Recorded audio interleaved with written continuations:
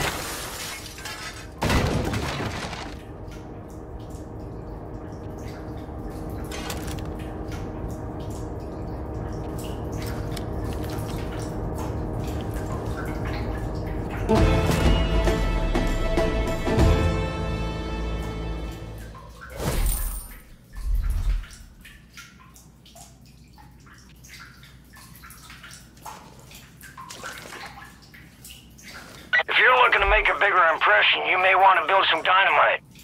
Luckily, folks around here have been stockpiling all the materials you might need. So just grab them up. Get crafting.